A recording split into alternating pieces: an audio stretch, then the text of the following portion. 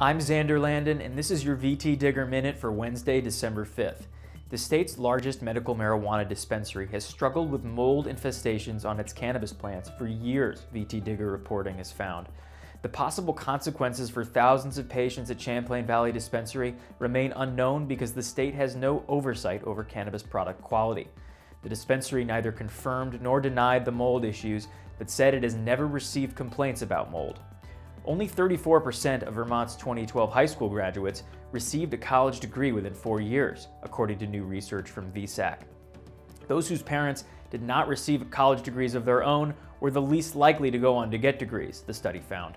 Men whose parents didn't go to college were the least likely to get a college degree, with only 16% doing so in the four years following graduation.